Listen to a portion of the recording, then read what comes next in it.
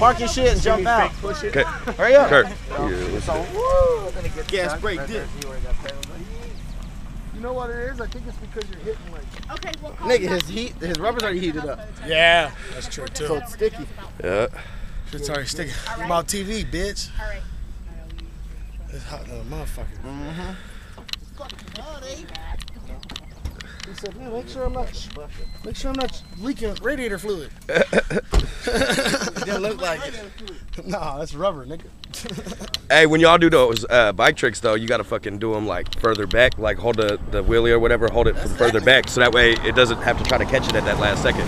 Cause y'all be busting it right as the camera's on it, and I have to try to like. I like, figured you'd be following us the whole way. No, he Riri. don't. He waits till you get ready. no. I follow it the whole way, but that's what I'm saying. It just would be smoother if you was doing the wheelie from further back than right in front of the camera. Pop the wheelie way back there. What you talking about? Mm.